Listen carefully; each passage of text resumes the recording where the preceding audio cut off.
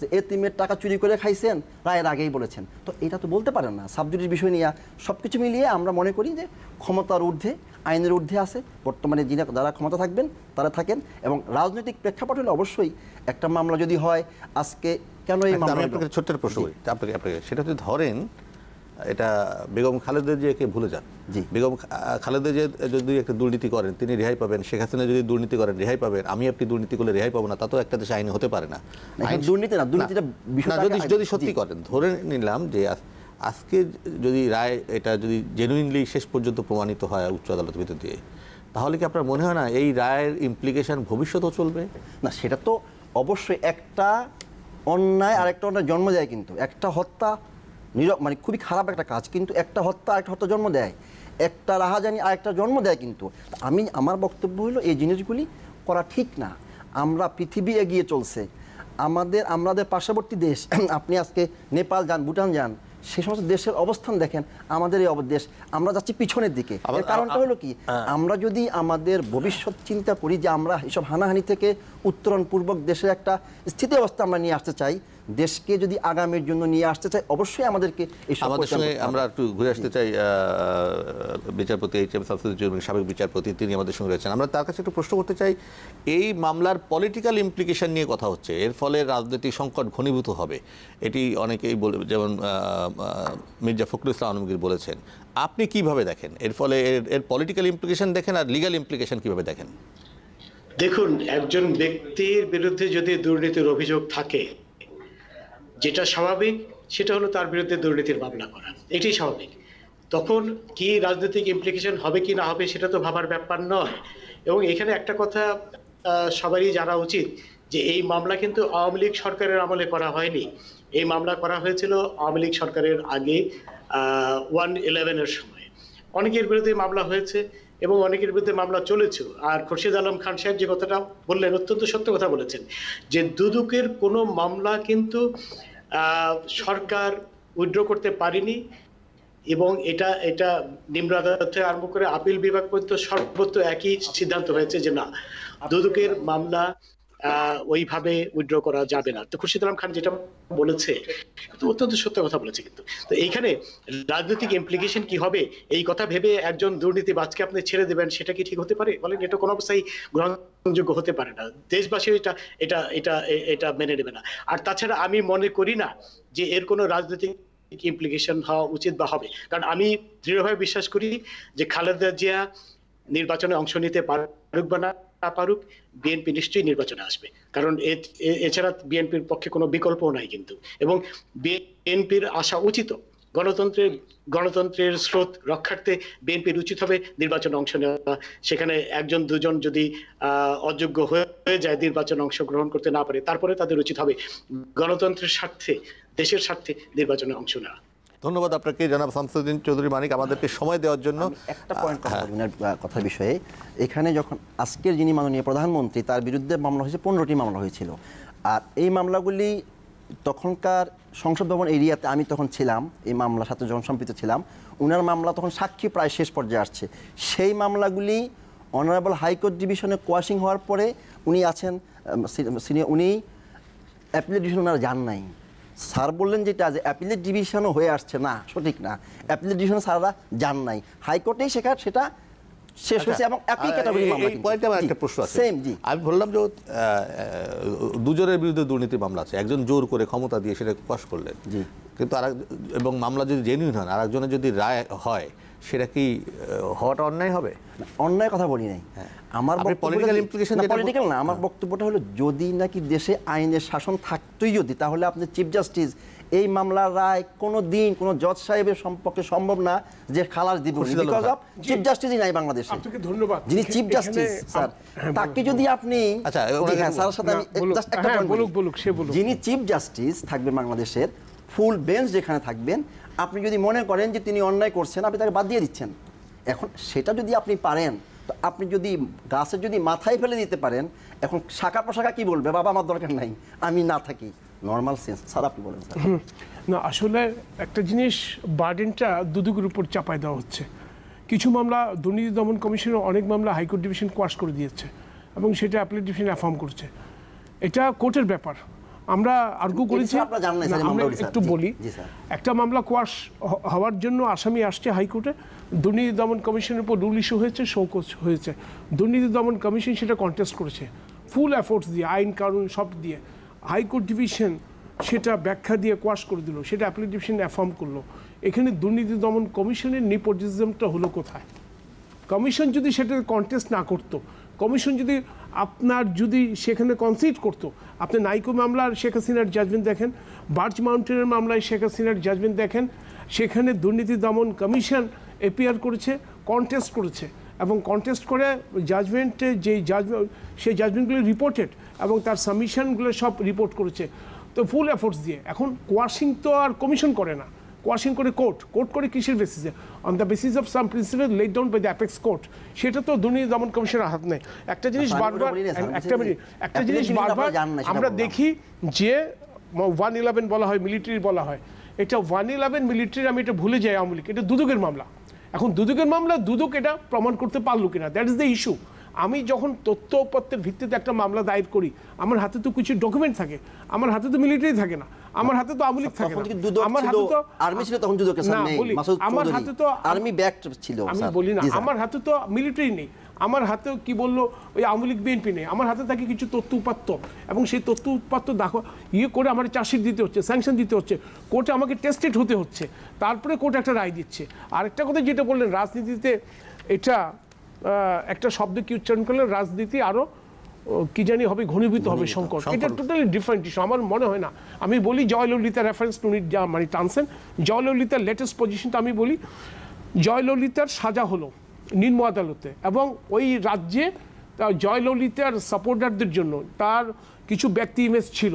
আর ব্যক্তি ইমেজের কারণে সেখানে ট্রায়াল করা যাচ্ছিল না। তখন পাশের রাজ্যে নিয়ে গেলো, কর্ণাটক রাজ্যে। ওই রাজ্যে ট্রায়াল করতে বলল না। সেই রাজ্যে ট্রায়াল করে ট্রায়াল কোর্ট বিচারিক আদালত সাড়ে তিন হাজার পৃষ্ঠার জাজমেন্ট দিয়ে জয়ললিতাকে কনভিকশন দিল। তারপরে সেটা কর্ণাটক হাইকোর্টে অ্যাপিল করল জয়ললিতা। জয়ললিতা অ্যাকুইটাল হয়ে গেল। ওই কর্ণাটক হাইকোর্টের এগেইনস্টে CBI central bureau of investigation India they preferred appeal before the supreme court supreme court Karnataka হাইকোর্টের জাজমেন্ট বাতিল করে দিয়ে ট্রায়াল কোর্টের জাজমেন্ট রেস্টোর করল। But in the meantime supreme কোর্টের জাজমেন্ট হওয়ার আগে জয়ললিতা মারা গেলেন। তারা আর্গু করল এটা অ্যাবেট হয়ে গেছে। ইন্ডিয়ান সুপ্রিম কোর্ট বলল it's a case of corruption এটা অ্যাবেট হবে না। কাজে অ্যাজ ইফ যেটা যেভাবে আছে আমরা সেভাবেই শুনব। আজকে যদি জয়ললিতা বেঁচে থাকতেন উনি জেলখানায় থাকতেন। কাজেই এবং শশীকলা স্টিল ইন কাস্টডি ওনার যেটা সবচেয়ে বড় হ্যাঁ, সহগুরু। হ্যাঁ সহগুরু মুখ্যমন্ত্রী গিয়েছিলেন। হ্যাঁ, মুখ্যমন্ত্রী হতে মানে চেয়েছিলেন। উনি এখন কাস্টডিতে উনি judicial কাস্টডিতে by virtue of order of conviction and sentence by the appellate মানে সুপ্রিম কোর্ট অফ ইন্ডিয়া কাজে আমি মনে করি না যে রাজনীতিবিদ রাজনীতি ঘনীভূত হবে। রাজনীতির সঙ্গে এটার কোনো সম্পর্ক নেই। আমি যখন দুদক হিসেবে মামলা করব আমি দেখব অপরাধটা কতটুকু হয়েছে। উনি কোন পার্টি আমি সেটা দেখব না। আর রাজনীতি কেন হবে? আমার ইটস এ লেসন রাজনীতিবিদদের জন্য। আজকে আমি দুজন আওয়ামী লীগের সিনিয়র লিডারের একটা বক্তব্য শুনলাম যে ওনারা বলছে, আমরা ডিফেম ফিল করছি। যে একজন পলিটিশিয়ান কনভিকশন হয়েছে, ওনার সেন্টেন্স হয়েছে। কাজে আমার নিজের কাছেও আমাকে ডিফেম মনে হচ্ছে। কাজে ইটস এ লেসেন যারা পলিটিক্স করে, যারা পাওয়ারে যায়, তাদের কাছে একটা লেসেন আপনি পাওয়ারে গেবেন পিপলস পাওয়ার পিপলসের মতো করে আপনি ইউজ করবেন। এটাকে যদি ডিক্টেটরশিপ নিয়ে আপনি করেন মিসইউজ করেন, তাহলে এই ধরনের ভাগ্যের পরিণতি হবে। কাজে ইটস এ লেসন আমি মনে করি পলিটিশিয়ানদের জন্য। আপনি কি তাই মনে করেন? যেটা আমার হচ্ছিল what is the reality reality হচ্ছিল হলো যে একটা জাজমেন্ট হয়েছে এবং সেখানে কনভিকশন হয়েছে। এখন আমাদের দেশের হচ্ছে যে জাজমেন্ট যেটা হয়েছে আমাদের যে প্রচলিত আইন যেটা প্রচলিত আইনকে অনুসরণ করেই তো জাজমেন্ট দিয়েছেন। এখন আপনার যদি এখন if any person or anybody is aggrieved by the judgment তার জন্য প্রপার ফোরাম হচ্ছে হচ্ছে টু প্রেফার অ্যাপিল এবং কোনো জাজমেন্টেই তো দুই পক্ষকে তো সন্তুষ্ট করা যায় না। না। আপনি যখন যে কোনো ফৌজদারি যখন মামলা হয় মামলার ফলাফল কি?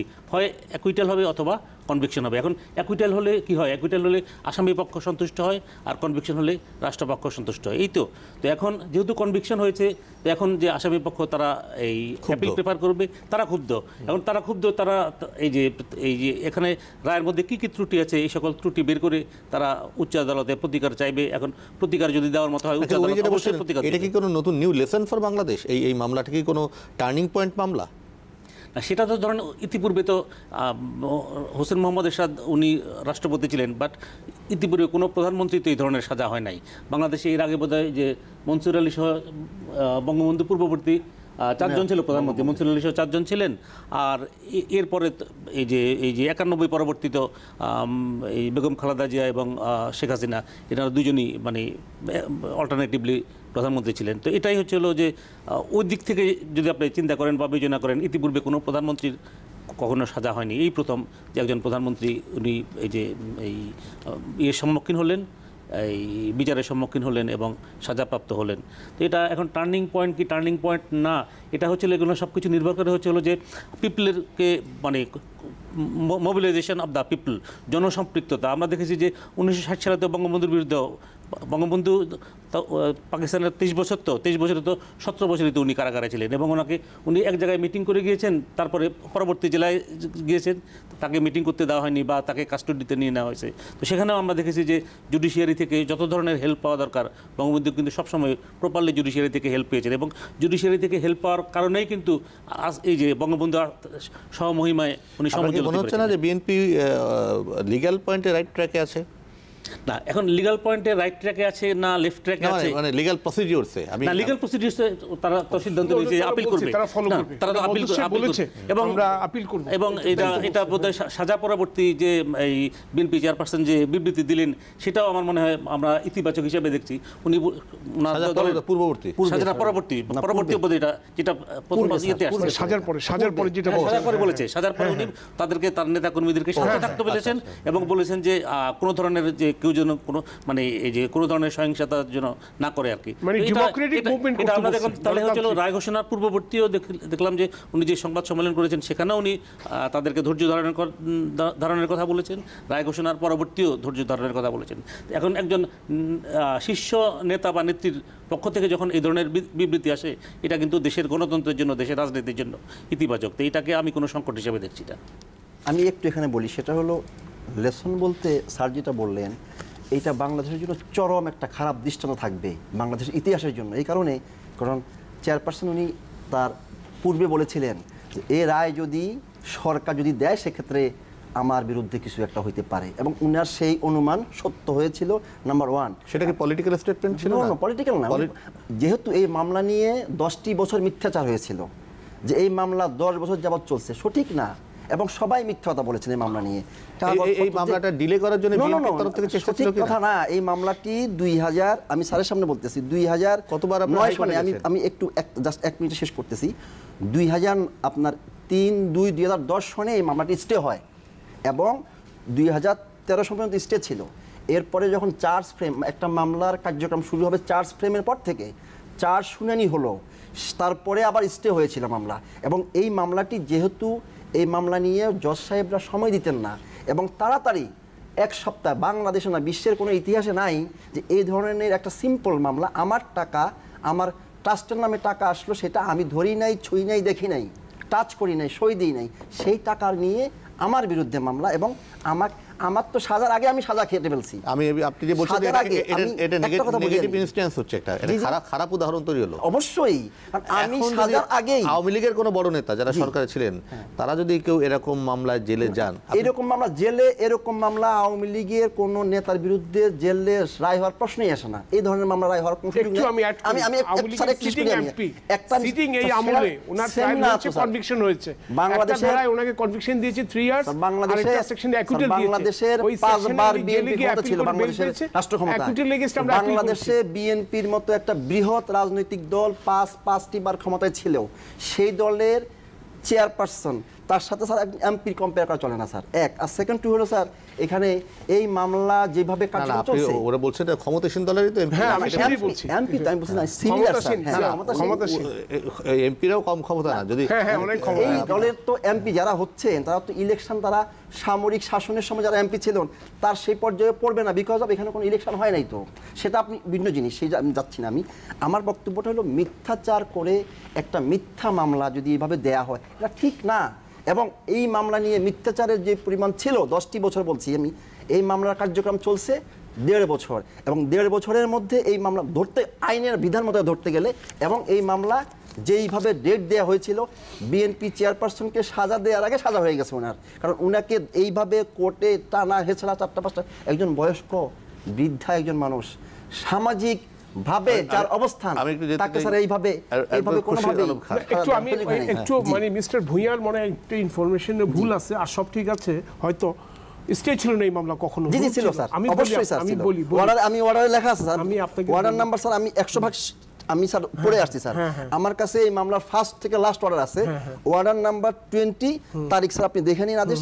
তিন দুই দুই হাজার দশ তারিখ সেখানে আদেশে বলা আছে মিস্টার জাসির ওয়াব সাহেব এবং রাজ্জাক সাহেবের সমন্বয়ে বেঞ্চ রুল রুল ইস্যু করে এবং এবং তখনকার অ্যাটর্নি জেনারেলকে বলে দিয়েছিলেন। অ্যাটর্নি জেনারেল সাহেবকে বলছেন লার্নি অ্যাটর্নি জেনারেল যে এই মামলার কার্যক্রম রুল শুনানি না হওয়া পর্যন্ত স্থগিত থাকবে। এবং এইটা স্যার আমার এইখানে বিভিন্ন সময় যিনি কথা কথা যারা কথা আচ্ছা, বলছেন জানতেন না স্যার। এটা আমি স্যার আপনার শিওর দিয়ে শেষ করতে চাই করলাম। সে- সে- এখন এটা গুড ইনস্ট্যান্স না bad instance time will say G. Exactly. কিন্তু বাট আমি মনে করি it's a lesson it's a lesson for politicians যারা পাওয়ার পলিটিক্স করে যারা মানে যারা ঠিক আছে, হ্যাঁ, মানে যারা হোয়াইট কলার ক্রিমিনালস এবং যারা পলিটিশিয়ানস পিপলস পাওয়ার নিয়ে যারা ছিনিমিনি খেলে যারা নিজেদেরকে সবার কিছু ঊর্ধ্বে ভাবে আমরা আইনের ঊর্ধ্বে কে আমাদেরকে ধরা চোয়ার কারোর সাধ্য নয় তাদের জন্য একটা লেসেন ইন ফিউচার। আমরা শেষ করতে চাই। অসংখ্য ধন্যবাদ। ইকতেদার আহমেদ আপনি কোনো পয়েন্ট যোগ করতে চান না যেটা এই যে খুশিদ আলম সাহেব যেটা বলেছেন লেসেন লেসেনটা কখন হবে?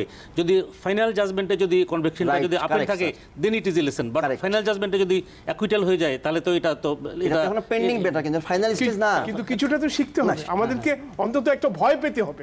একটা মামলা হতে ফাইনাল জাজমেন্টে যেতে গেলে তো শুরু হবে তো কোথা থেকে? একজনের final প্রতি করে না, ওনার- স্যার, আমি একজনের ওনাকে প্রতি personally অন্যায় করে স্যার আপনি ভয় পাওয়া তো হবে না স্যার। আমি আহ, নিয়মের মধ্যে থেকে আইনে থেকে আইনের মধ্যে থেকে আমি একজনকে সাজা দিলাম। অন্যায় সেটা তখন চিন্তা করব, অন্যায় করলাম। কিন্তু আমি অন্যায় করি নাই। সেখানে যদি কাউকে অন্যায়ভাবে কষ্ট দেয়া হয়, এটার বিচার আল্লাহ করবেন এজ এ মুসলিম হিসাবে যদি আমরা বিশ্বাস করি। এই জগতে না হলে সেই জগতে হবে ইনশাল্লাহ যেই হোক আমি হই আপনি হন যেই হন না কেন? আমরা অসংখ্য ধন্যবাদ জনাব জাকির হোসেন ভুইয়া অ্যাডভোকেট খুরশিদ আলম খান ইকতেদার আমাদের আমাদেরকে সময় দেওয়ার জন্য। আমরা প্রত্যাশা আমি সবসময় একটা কথা বলি আমরা ন্যায় বিচার চাই। এবং ন্যায় বিচার কিন্তু আপাতত দৃষ্টিতে কোনোটার অন্যায় মনে হচ্ছে কোনটাকে ন্যায় মনে হচ্ছে। কিন্তু সময় সময় সেটা বলে দেবে আসলে কোনটা ন্যায় যেটা বলছিলেন যে টাইম উইল সে যে আসলে কোনটা ন্যায় ছিল অন্যায় ছিল। তবে আমরা প্রত্যাশা করি যদি সত্যি কোথাও অন্যায় থেকে থাকে। অন্যায়ের কিন্তু প্রতিকার হওয়া উচিত। এবং অন্যায়ের প্রতিকার আপনি আল্লাহর কথা বললেন ন্যাচারালি অন্যায়ের প্রতিকার হয়ে থাকে নানাভাবে। আবার অন্যায়- মনে যেই করুক whoever it is whoever it is হ্যাঁ যেই করুক তাকে কিন্তু নানাভাবে সময় এটাকে দিয়ে দেয়। তা আমরা প্রত্যাশা করি প্রকৃতির যে প্রক্রিয়া বা আমাদের যে আইনগত যে প্রক্রিয়া সেই প্রক্রিয়াগুলোকে আমরা আইনগতভাবে বা প্রকৃতিগতভাবেই এগুলোকে মোকাবেলা করতে হবে। এবং একই সঙ্গে প্রত্যাশা করি আইন এবং রাজনীতিকে একসঙ্গে মিশিয়ে ফেলার যে ক্ষতিকর দিক, সেটি থেকে আমরা সবাই সতর্ক থাকি। প্রিয় দর্শক, সবাই ভালো থাকবেন।